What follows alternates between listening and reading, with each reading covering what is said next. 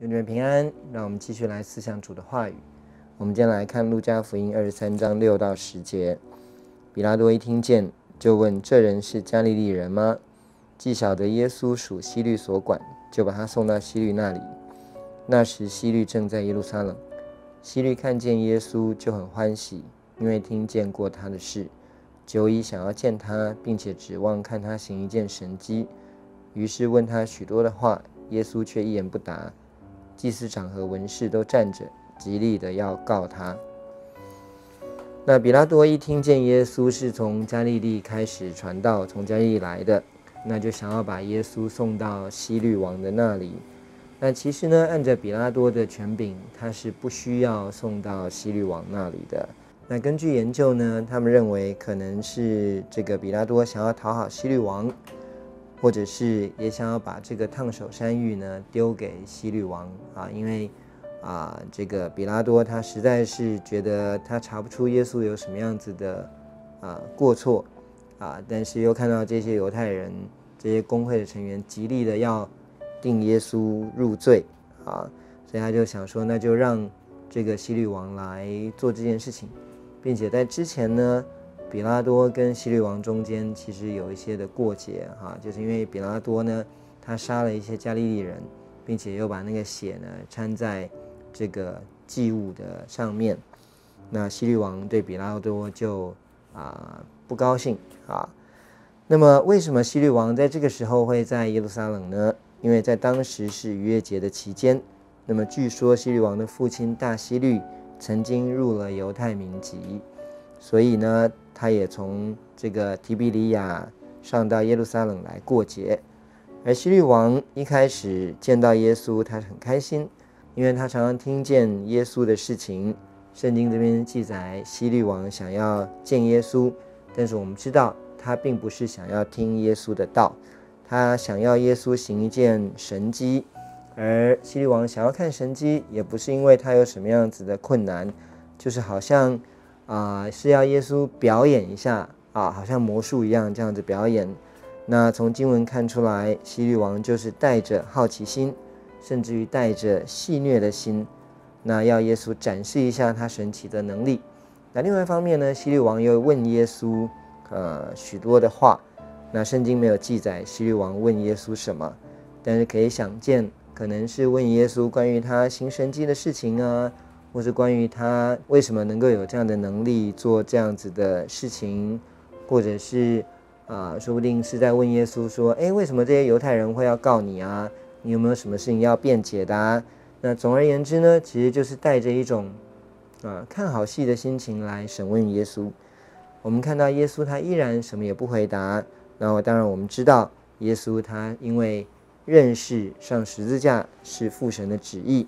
也知道问他话的人并不是真的想要知道真理，所以回答他们的问题也没有什么意义。那耶稣就没有回答。那在此同时，圣经还是记载这些祭司长和文士还是极力的告耶稣。那这实在是一件让人很痛心的事情啊！就是我们看到常常基督徒彼此对立。而基督徒之间的彼此对立，其实是让世人藐视基督的关键。圣经清楚地告诉我们：我们若能够彼此相爱，世人就因此能够认出我们是主的门徒。我们都知道，人与人之间的相处一定会有摩擦，会有觉得容易相处的一点的人，或是不容易相处一点的人，并且呢，在信我们的信仰当中，我们知道我们要追求完全。我们有一个完全人的期待，但是圣经很清楚的告诉我们，要我们不要彼此论断。但是在基督徒当中，我们常常，呃，一方面说我们要怜悯，我们要以恩慈相待，但是碰到了关于我们所认为的律法上或是道德上面的事情，我们对于弟兄姐妹的论断或者是不接纳，啊，反而比。外邦人更加的强烈啊！这个其实是我们真的是需要好好的来去醒思的一件事情。而为什么耶稣说我们若能彼此相爱，世人就因此认出我们是主的门徒？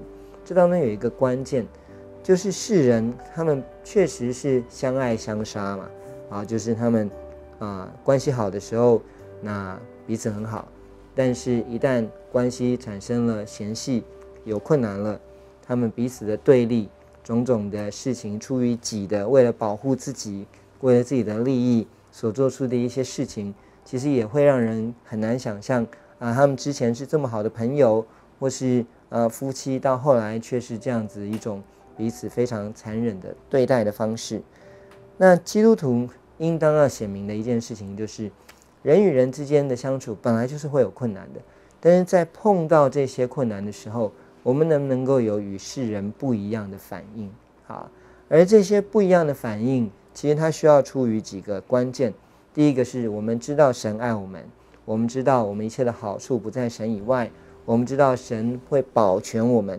如果没有神的允许，那么没有我们一根头发也不会掉下来，也就是没有任何人他的恶意能够越过上帝的允许来伤害到我们。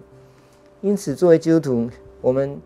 应当，我们可以做我们认为呃需要做的预备，但是我们的心却是需要在主的真道里面，我们要啊在爱里面啊，所以我们是在爱里面，是为了对方的益处。那么在神面前祷告，思想怎么样与对方和好，怎么样子来处理这样子的一个难处，这样的一个。一个生命的思考逻辑跟方向，才会显出我们与世人之间的不同啊。所以，当人与人之间如果产生了难处或是利益冲突的时候，如果基督徒处理的方式与世人一样，那么基督徒与世人的分别区别又在哪里呢？求主帮助我们，让我们能够有智慧、有力量，以属神的方式来面对我们的生活，特别是面对。当我们与人之间有冲突的时候，我们真的是要求主，让我们有从真理而来的能力，能够去处理、去面对。那愿神帮助我们，让我们能够在各样的事上，能够真实的显明出那宝贝藏在瓦器里，莫大能力出于神的见证。祝大家美好一天，谢谢大家。